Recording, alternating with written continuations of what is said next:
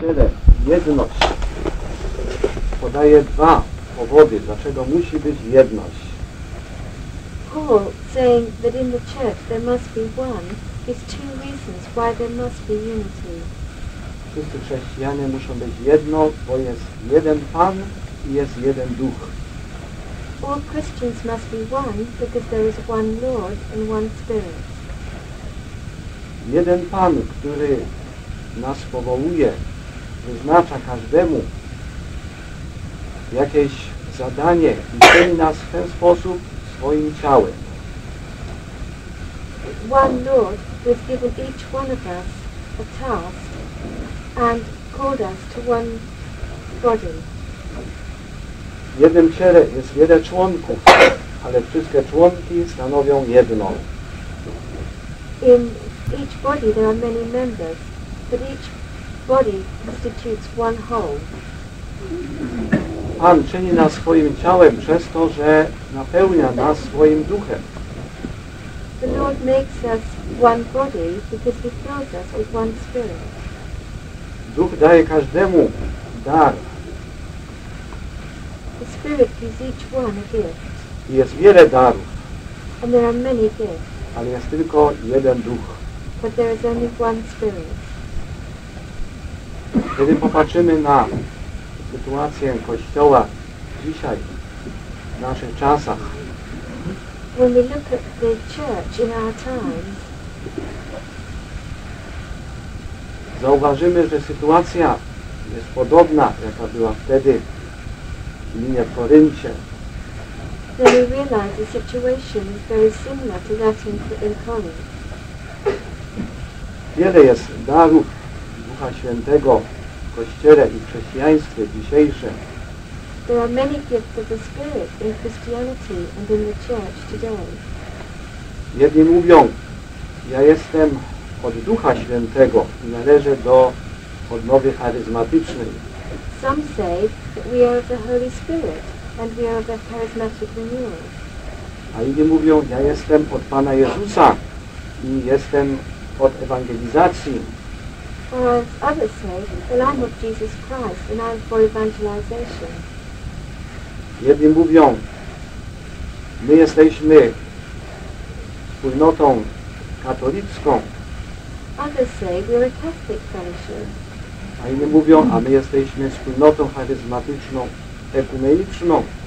Whereas others say, well, we're an ecumenical community. Jedni mówią, my jesteśmy napełnieni Duchem Świętym, jesteśmy żywym, duchowym kościołem, others say, we're of the Holy Spirit, we're part of the living church. a inni mówią, my jesteśmy posłani przez Chrystusa, my od Niego otrzymaliśmy władzę i prawdę, my jesteśmy jedynym prawdziwym kościołem. Whereas even others say, well, we are of Jesus Christ, we've received His commands, we are the one true church. I tak wiele jest rozłamów wśród chrześcijan dzisiejszych. And so there are many different in today's Christianity. A wszyscy mówią, Jezus jest Panem. But they all say Jesus is Lord. I wszyscy mówią, Duch Święty nami kieruje. And they all say the Holy Spirit guides us. Ale przecież Duch Święty nie może być w niezgodzie sam ze sobą. Ani Pan Jezus nie może być rozdzielony. But the Holy Spirit doesn't contradict himself, nor can Jesus be divided. Jeżeli są rozłamy, to na pewno nie pochodzą ani od Pana, ani od Ducha Świętego. If there are, if there are divisions, they cannot come from the Holy Spirit or from the Lord. Ale rozłamy pochodzą tylko od nas.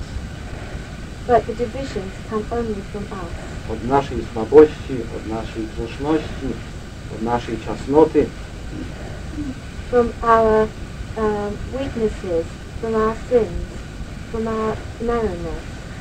Ale wiedząc o tym, musimy robić wszystko, żeby przezwyciężać rozłamy i żeby budować Kościół w jedności. So it's up to us to do everything we can to have victory over these divisions and to build a united church. Chciałbym podzielić się z Wami doświadczeniem z naszego ruchu Światło Życie w Polsce, w jaki sposób dar jedności w Duchu Świętym został nam dany, jak staraliśmy się nie dopuszczać do rozłamów i, i budować jedność. I'd like to share with you how we, in our Light and Life movement in Poland, brought together these different elements so that we could exercise the gift of unity in our midst. Przed kilku laty, w czasie wakacji letnich, tysiące młodzieży uczestniczyło w tak zwanych oazach rekolekcyjnych. Over the past few years, um, several thousand young people have taken part in retreats called Oaza, or, or Oasis. Uczyli się tam, jak czytać Pismo Święte, jak uczestniczyć dobrze w liturgii, jak się modlić, jak służyć dob e, dobrocią jedni drugim. They learned here, there, at oases, how to study the Word of God, how to do good one to another, how to take part in the liturgy. Pewnego razu przyszło do mnie do centrali ruchu kilku młodych ludzi z jednej z takich oaz. One, one day, several young people came to me at the center from one of these oasis groups.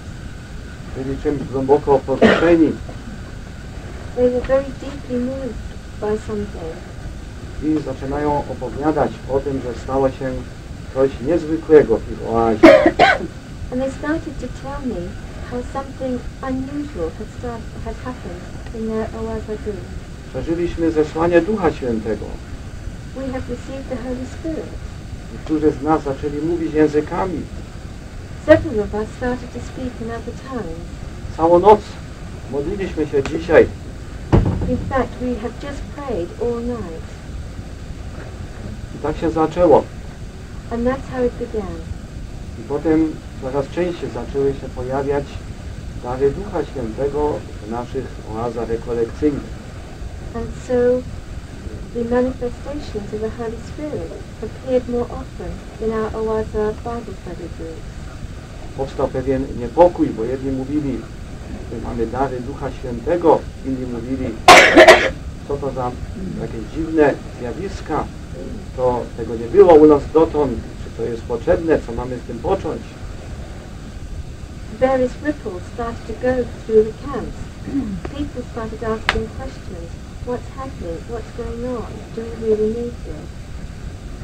I wtedy powiedziałem do tych ludzi, wiecie co to jest dar Ducha Świętego? Then I said to these people, do you know what the gifts of the Spirit are? Dar Ducha Świętego nazywa się Świętym charyzmatem. And the gift of the Holy Spirit in the Holy in the in the Bible called the charisma, charismatic. Charyzma to jest dar Ducha Świętego dany dla budowania wspólnoty. And this charisma is given by the Holy Spirit to build the fellowship, dla budowania Kościoła. to build the church. Jeżeli otrzymaliście takie dary w tej wspólnocie ruchu oazowego, to po to, żeby tym darem służyć tej wspólnocie. And if you have received gifts of the Spirit in the in it's for the purpose of serving the fellowship. A tym, którzy nie otrzymali takich darów, mówiliśmy, przeczytajcie sobie pierwszy list do Koryntian, rozdział 12, 14 i tam jest mowa o takich darach Ducha Świętego. To those who hadn't received these gifts, we said, look at Paul's first letter to the Corinthians, at chapter 12, at chapter 14, and see, is it not written about the gifts of the Holy Spirit? Czy Duch Święty może udzielać takich darów? Can the Holy Spirit give such gifts? Nikt nie powiedział, że nie. Nobody said no. Wobec tego co macie robić? In light of that, what should you do? Czy możecie powiedzieć Duchu Święty, my nie chcemy, żeby były takie dary w naszych wspólnotach. Nam się to nie podoba. Can you turn around to the Holy Spirit and say, we don't like these gifts in our fellowship. Take them back. Możecie tylko powiedzieć, dziękujemy, że takie dary Duch Święty nam dał. Chcemy je przyjąć.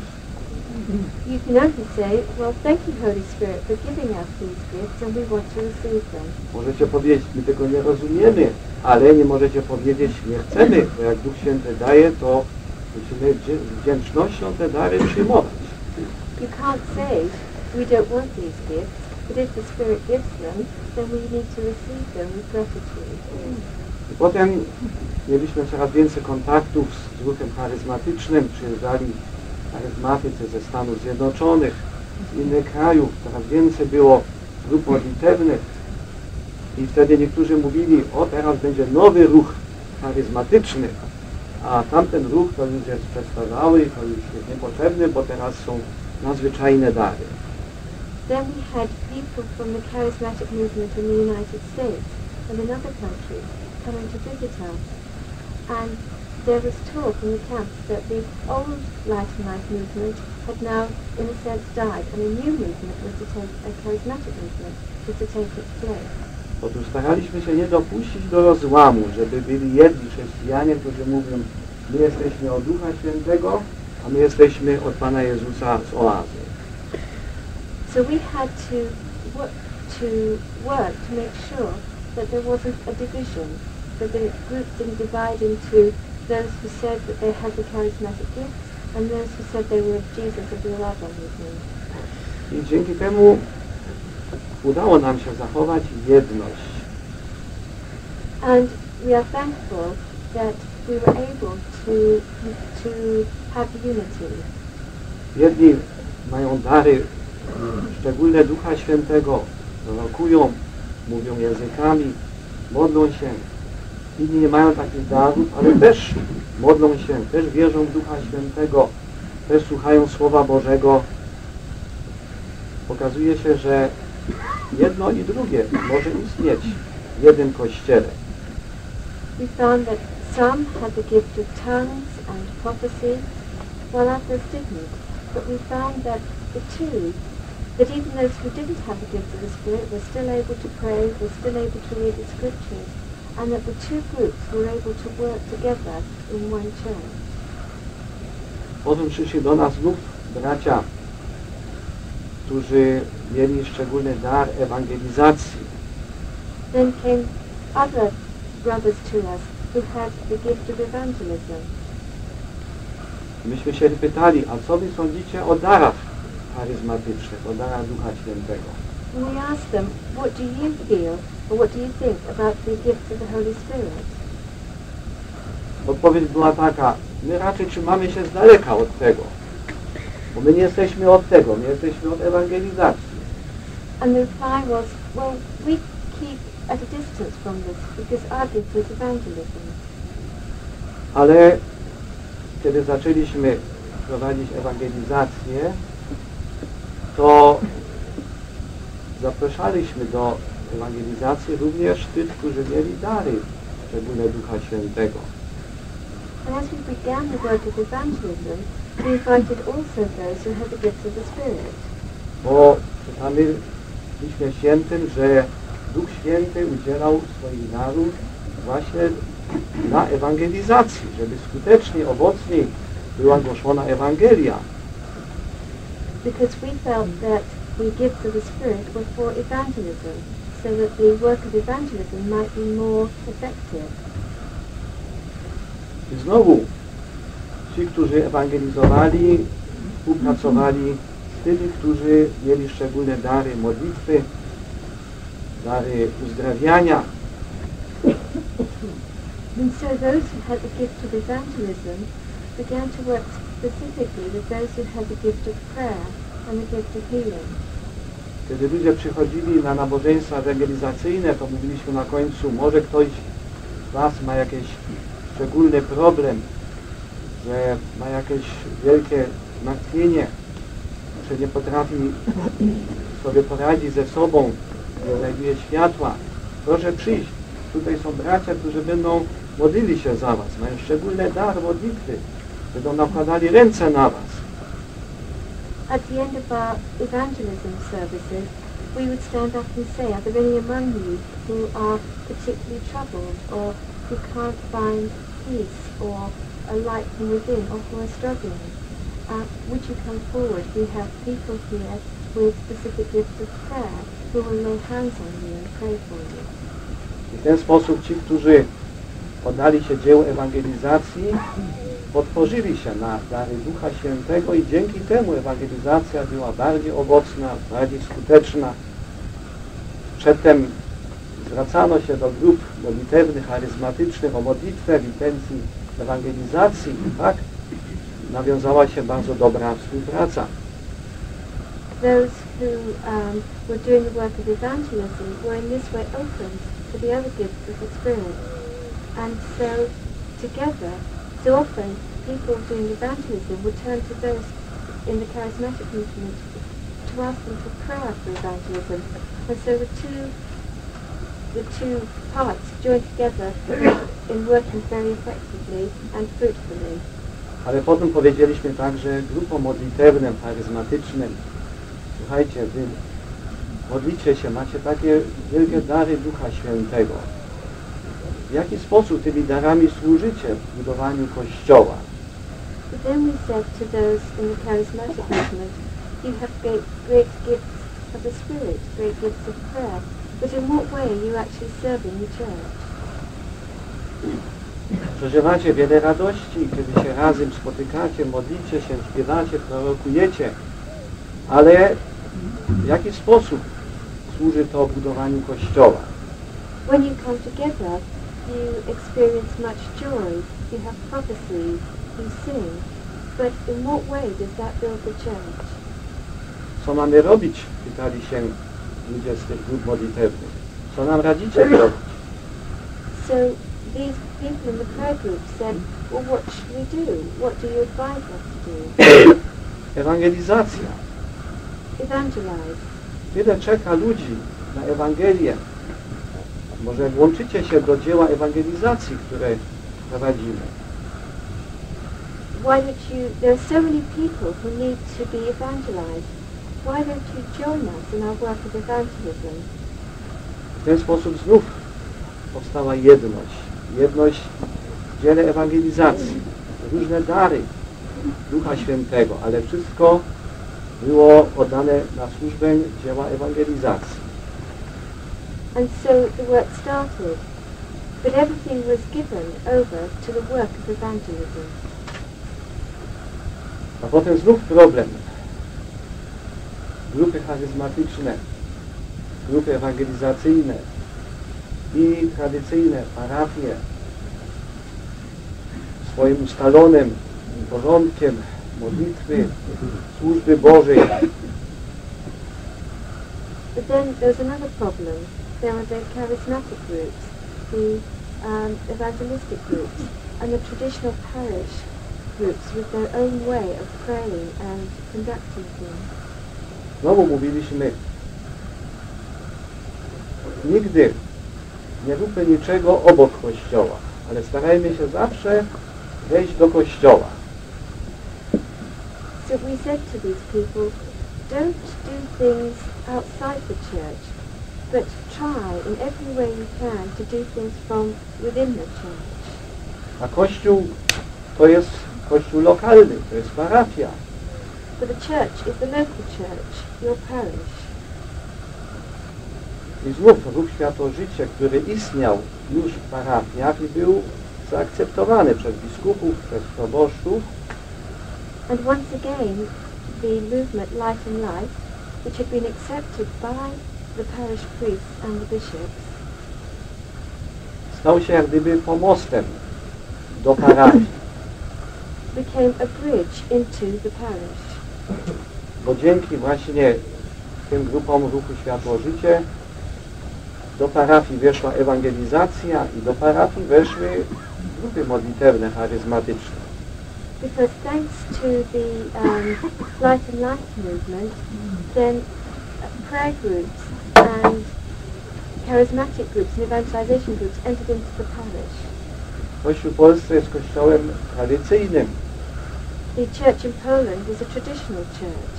ale właśnie dokonała się rzecz dziwna, że ruch charyzmatyczny, tak samo jak ruch ewangelizacyjny, weszły do parafii bez jakichś konfliktów, bez wszystkie te dary, które pochodzą od tego samego Ducha, od tego samego Pana, mogą służyć budowaniu Kościoła w jedności. And so, in this way, we were able to see that we didn't have to say, I am of evangelization, I am of another group, but we were able to see that we could be one in the gift of the, that the gift of the Holy Spirit in fact one in building the church. To jest droga, która pokazywana jest dzisiaj wyraźnie przez Ducha Świętego całemu Kościołowi. And this is a, a road or a path that is shown by the Holy Spirit for the whole church.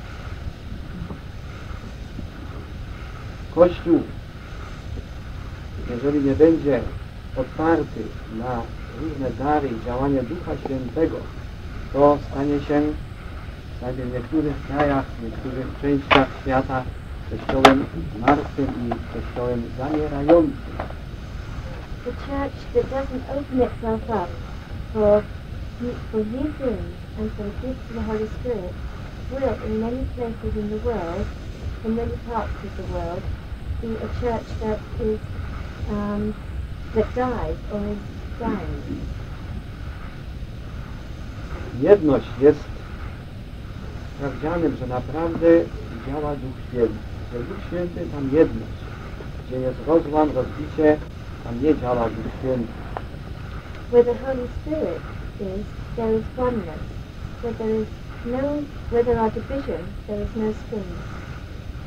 Nie znaczy to, że ludzie, którzy nie są w pełnej jedności z innymi, nie mają Ducha Świętego.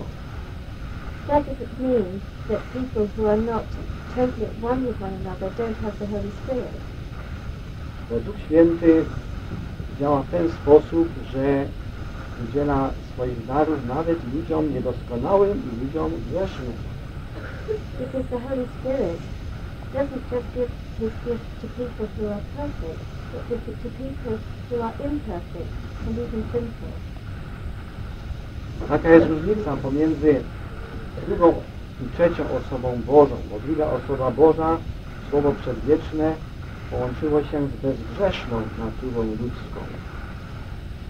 Because that's the difference between the second person of the Trinity and the third.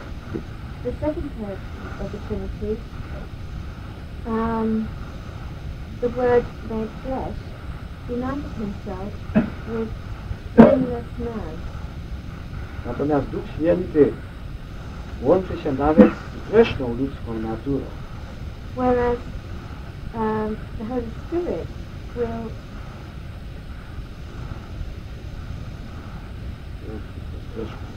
will, will connect himself even with sinful man, Dlatego mogą istnieć dary Ducha Świętego obok naszych ludzkich niedoskonałości i słabości.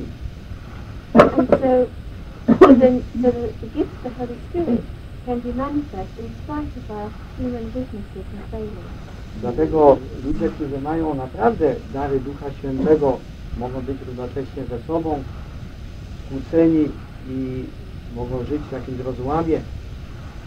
So even those who have the gift of the Spirit can be out of fellowship with one another.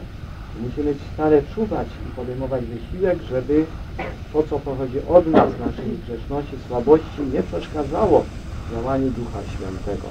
And so we have to always be careful and to work hard on our, in our own lives so that the gifts of the Spirit aren't um, interfered with by our own human weaknesses and our own human nature.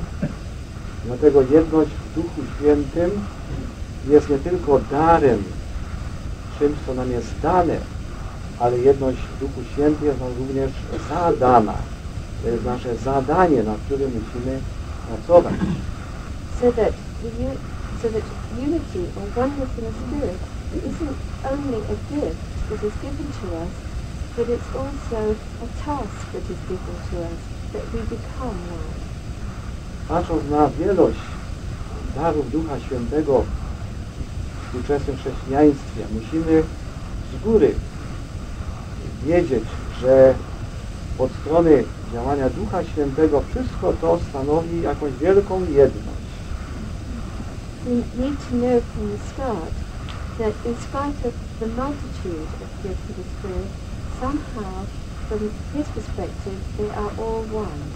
Istnieje wspaniały Boży plan budowania jedności, There is a wonderful plan of God to build unity. ale ta jedność, która istnieje w planach Bożych, w działaniu Ducha Świętego jest dla nas czymś, co musimy dopiero odkrywać. Musimy tę jedność przyjmować, wysilać się w tym kierunku. But this wonderful plan of God for unity is something that we need to uncover, something that we need to move towards and work towards. W tym znaczeniu jedność w Duchu Świętym jest nam zadana. And so, in this sense, unity in the Spirit is a task that is given to us. Musimy się wiele modlić, musimy rozmawiać, musimy się zastanawiać, co zrobić, aby tę jedność budować wśród nas. So we need to be constantly asking ourselves, what do we need to do to build this unity amongst ourselves? Przed dwoma laty odbył się w Rzymie Międzynarodowy Kongres Ruchów Odnowy w Kościele. A couple of years ago in Rome, there was a congress of the renewal movement in the church. Była to pierwsza próba zebrania przedstawicieli różnych ruchów, aby wspólnie zastanawiać się nad swoją jednością. It was the first um, experiment of bringing together the leaders of all the different movements to think about what it is that unites them. Staraliśmy się wspólnie rozpoznać pewne znaki, po których można poznać, że dany ruch jest ruchem eklezjalnym, to znaczy jest ruchem, w którym się urzeczywistnia Kościół. We tried to work out what were the different marks or, yes, marks of a movement that was part of the church and part of the ecclesia. Podziwialiśmy wspaniałość, różnorodność darów Ducha Świętego, a zarazem jakiś przedziwny plan jedności, który się przez to wszystko nam objawiał. We were thrilled with the multitude of gifts of the Spirit that were um, manifest in all these groups and how the wonderful plan of God was being revealed. Na końcu tego kongresu powołany został sekretariat jedności ruchów odnowy w Kościele.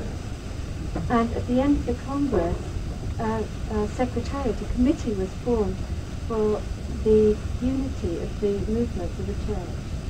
Do tego sekretariatu weszli przedstawiciele trzech ruchów. And onto this committee went leaders or representatives of, the, of three movements. Najpierw przedstawiciele katolickiej odnowy charyzmatycznej, ojciec Tom Forres, który jest rzymskim ogólnokościelnym sekretariacie odnowy charyzmatycznej. Um, there was representing the Catholic renewal movement was Father Tom Forrest, who works in Rome from for the Oh, is- it's, he's a representative of the International Renewal uh, Movement, Charismatic. Charismatic Renewal Movement. Później weszedł, wszedł do tego sekretariatu przedstawiciel włoskiego ruchu Comunione e Liberazione. And then there was a representative of the Italian uh, movement, Comunione Liberazione. I jako trzeci ruch to nasz ruch Światło Życie. And the third movement was um, our movement, Light and. Muszę powiedzieć, że ja wtedy przeżywałem bardzo głęboką radość, I must say that at that moment I experienced a deep joy dlatego że jeszcze dwa lata wcześniej, kiedy rozmawiałem z ludźmi z Comunione Liberazione i mówiłem im o odnowie charyzmatycznej, to oni się otrząsali.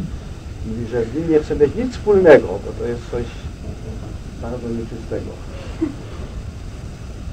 because a couple of years previous to this, when I had spoken to members of the Comunione Liberazione, they had said, oh, charismatic movement, we don't have anything to do with that, it's just not very nice at all.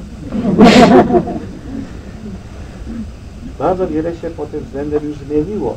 Dzisiaj nie ma takiego przeciwstawiania, charyzmatycy, ewangelizacja, inne ruchy, ale rozpoznajemy wszędzie działanie tego samego ducha. So now, nowadays, there isn't this great divide, this great difference with, of people who say that they don't see the movement of the Holy Spirit. Everybody recognizes the movement of the Spirit. Ruch charyzmatyczny jest wielką nadzieją Kościoła dzisiaj.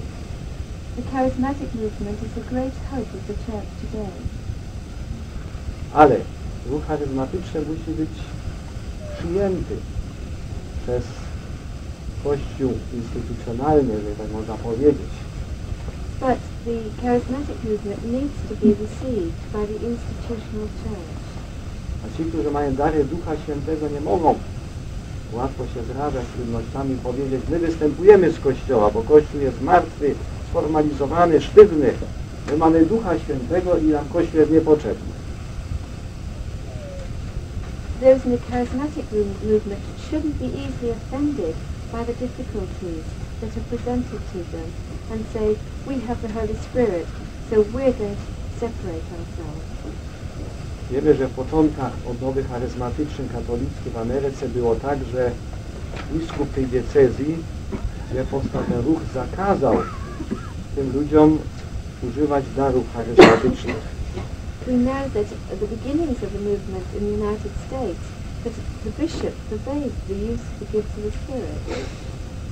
I wyliczone zostały w dekrecie biskupa wszystkie nadzwyczajne dary, które nie wolno używać, aby mówienie językami, uzdrawiania i tak dalej. So the bishops made a list of all the um, gifts that weren't allowed to be used, like speaking in tongues and healing. Ale przez zapomnienie zapomniał biskup w tym dekre- dekrecie napisać o darze proroctwa. But in this list, the bishop forgot to include the gift of prophecy. Członkowie tej grupy powiedzieli, my się dostosujemy do woli biskupa. My będziemy posłuszni. Nie będziemy używać tych wszystkich darów, które on nam zakazał.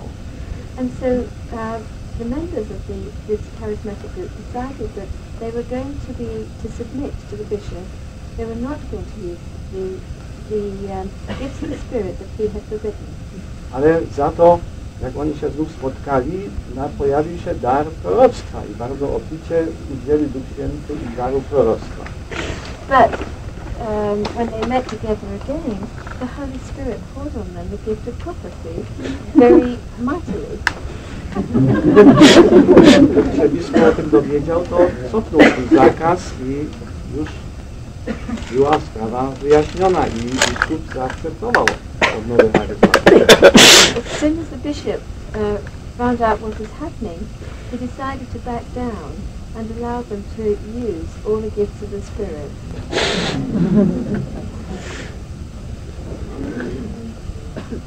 Duch odnowy w Kościele, a nie obok Kościoła. So the renewal movement must be in the church, not alongside it. Bo Duch Święty jest duchem jedności, także w tym znaczeniu, że potrafi zjednoczyć formę i treść. Because the Holy Spirit is, is the spirit of unity, and he's able to unite both the form and the practice. W instytucji Kościoła jest pewna forma, gdzie są przekazywane prawy wiary, są przekazywane pewne obrzędy i to pochodzi od Chrystusa, od apostołów i to musi być przekazywane. Ale to jest tylko forma, która może być pozbawiona ducha, może być zupełnie martwa. In the church, there are given forms which have been handed down to us from the times of the apostles. But these forms are necessary but can be uh, practiced without spirit and can be dead. Czy dlatego, że ta forma jest martwa, trzeba ją odrzucić albo zniszczyć? Just because it's um, not living, does that mean we have to throw it away? Nie, trzeba ją napełnić życiem. No, we have to give it life. We have to fill it with life. Na tym polega jedność w Duchu Świętym. And it's on this that the unity of the Holy Spirit depends. Kiedyś przed laty spotkałem taki ruch młodzieżowy. Jeszcze wtedy nie było odnowy charyzmatycznej, ale na pewno było już jakaś odnowa przez Ducha Świętego inspirowana. I pytam się tych młodych ludzi, jaki wy macie program? Czy macie wy jakąś treść? Czy macie jakieś określone cele? A few years ago, before the movement, I met some young people who, though it was before the renewal movement, were experiencing some renewal. And I asked them, do you have any kind of program? Do you have any kind of plan or goals? A oni wtedy mówili, nie, my nie mamy żadnego programu, żadnej formy, żadnej organizacji, my chcemy życia i tylko żyć chcemy. And they said, no, we don't have any plans or goals or, or form. We just want to live. Ja wtedy się zapytałem, czy widzieliście już kiedyś życie bez formy?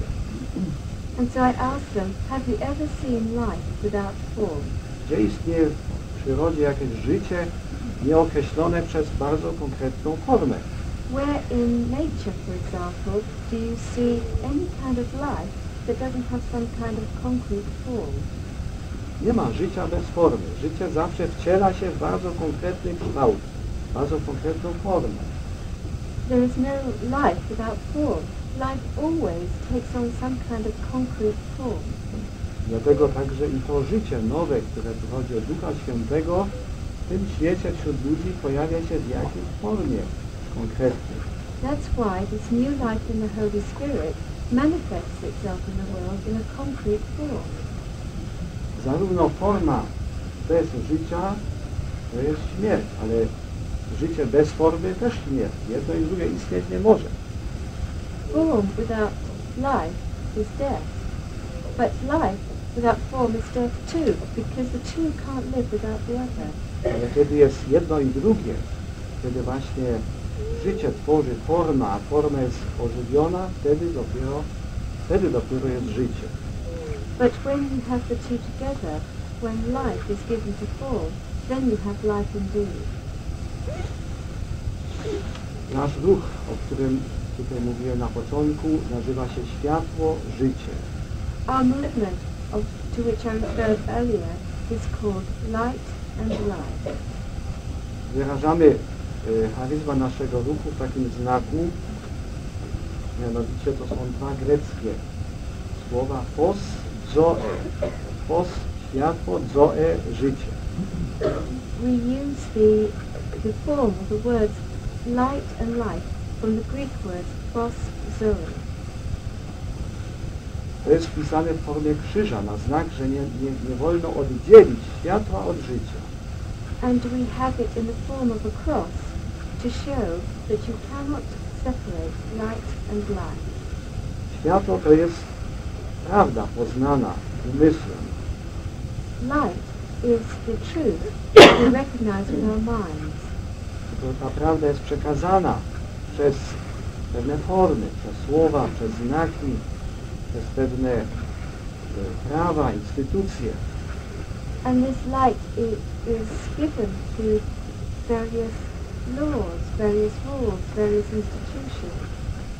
I właśnie ta prawda, to światło musi być wcielone w życie i wypełnione życiem. But this truth must be brought into our lives and shown through life. Kto może dokonać tej jedności pomiędzy światłem i życiem? Who could you, who can unite light and life? Odpowiedź tylko Duch Święty.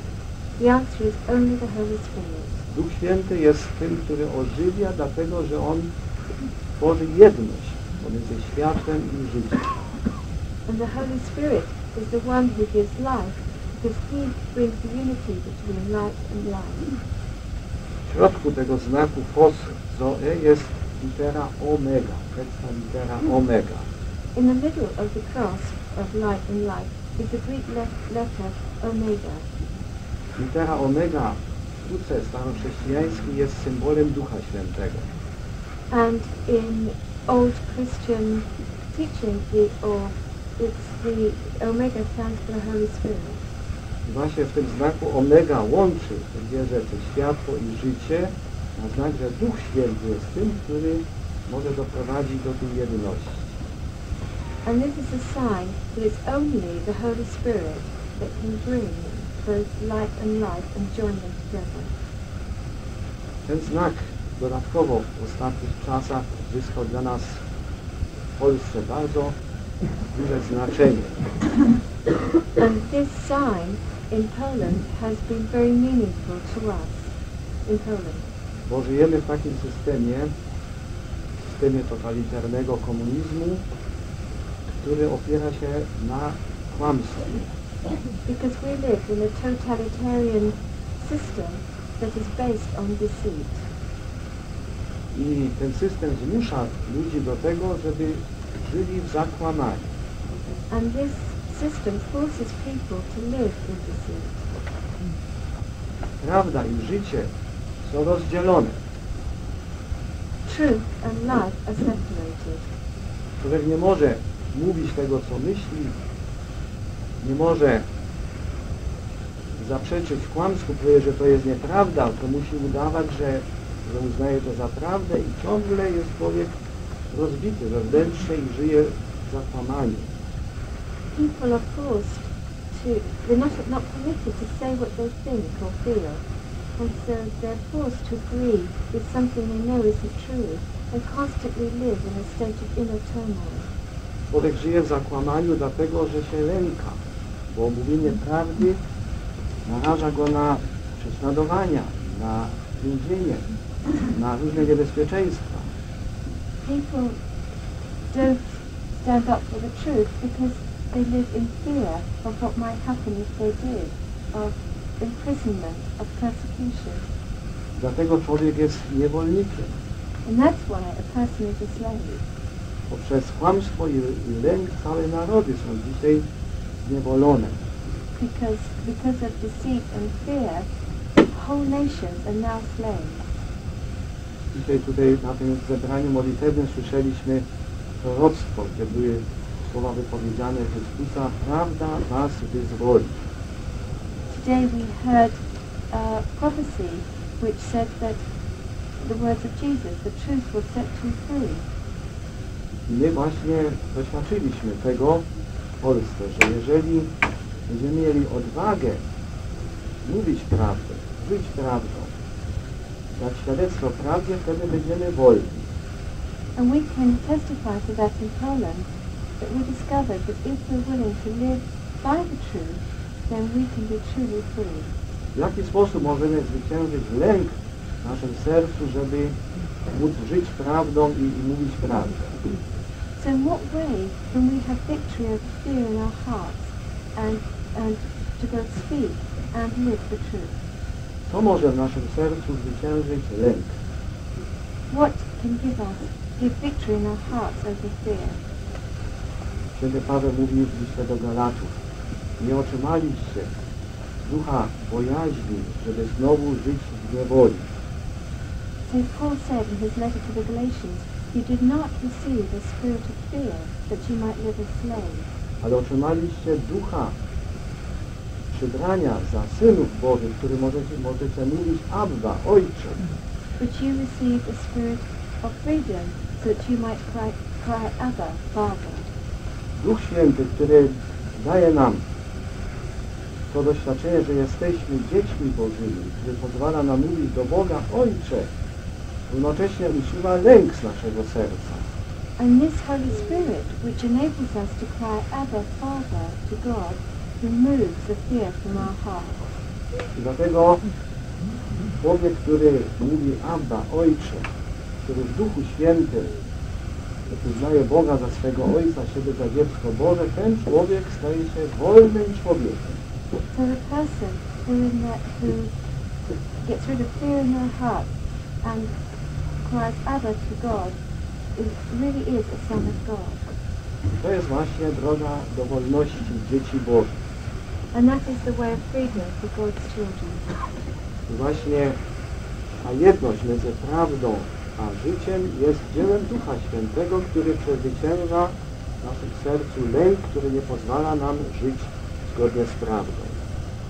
And so this um, unity of light, of truth and light, enables us to live um, in light of the truth.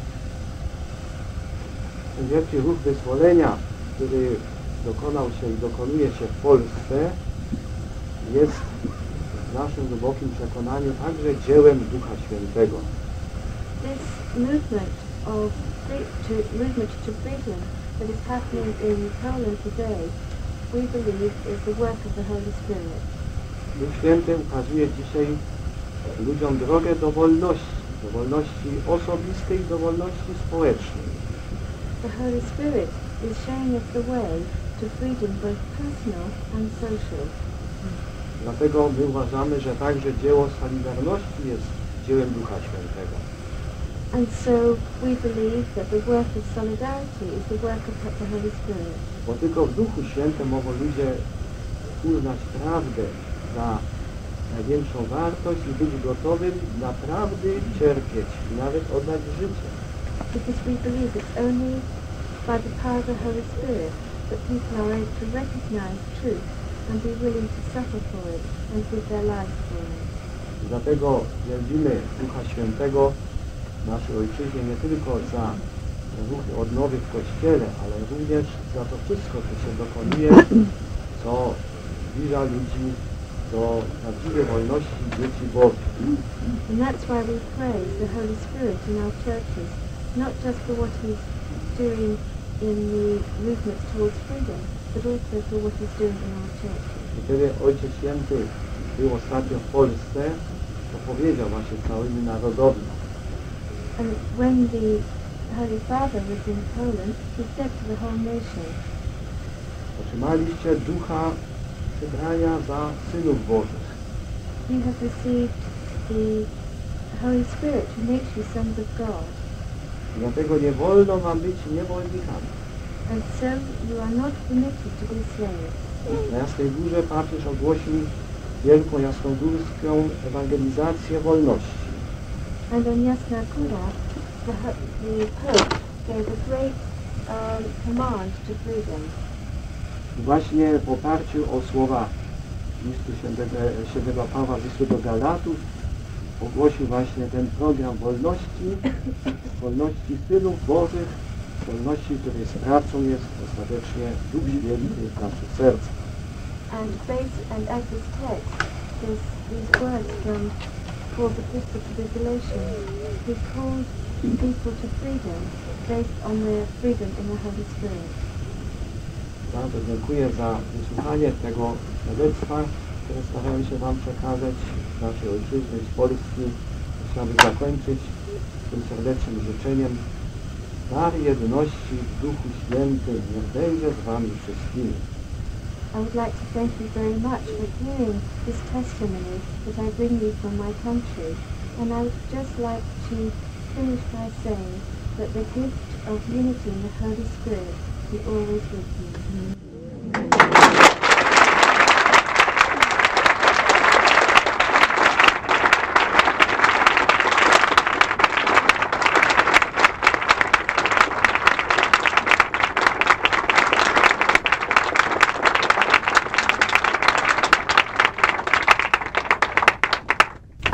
Thank you very, very much.